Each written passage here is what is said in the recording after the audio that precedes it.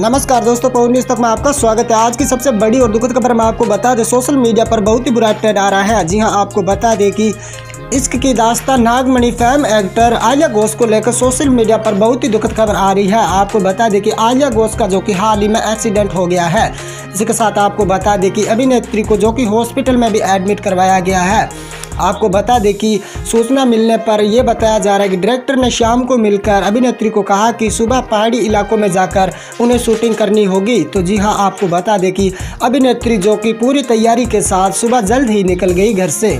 यह आपको बता दें कि शूटिंग के दौरान अभिनेत्री कुछ किलोमीटर चल पाई और उनकी गाड़ी जो कि पहाड़ियों में दुर्घटनाग्रस्त होकर टकरा गई है। इसी के साथ आपको बता दें कि पीछे आ रही गाड़ियों वालों ने बाहर निकलकर उन अभिनेत्री को बाहर निकाला और उन्हें हॉस्पिटल में एडमिट करवाया गया है। जी हाँ आपको बता दें कि मिली सूचना के मुताबिक कि अभिनेत्री के परिवार को सूचित किया तो अभिनेत्री के परिवार ने यह कहा कि उन्हें कहीं लेट ना हो जाए और उन अभिनेत्री को जल्द से जल्द हॉस्पिटल में एडमिट करवा दिया जाए। जी हाँ, आपको बता दें कि हॉस्पिटल में पहुँचने के बाद डॉक्टरों का कहना है कि अभिनेत्री के जो कि सर में काफ़ी चोट आई है और उन्हें कुछ दिन के लिए रेस्ट करना पड़ेगा। जी हाँ आपको बता दें कि अभिनेत्री को हॉस्पिटल में ही एडमिट करवाया जाएगा और कुछ दिन के लिए अभिनेत्री जो कि एपिसोड में नहीं आ पाएगी। तो यदि आप भी उनके फैंस हो तो वीडियो को लाइक और चैनल को सब्सक्राइब कर ले ताकि ऐसी रिलेटेड न्यूज़ आप तक पहुँचती रहेगी। वीडियो देखना धन्यवाद। मिलते हैं नेक्स्ट अपडेट में।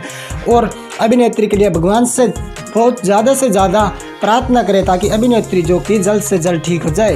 वीडियो देखने धन्यवाद। मिलते हैं नेक्स्ट अपडेट में।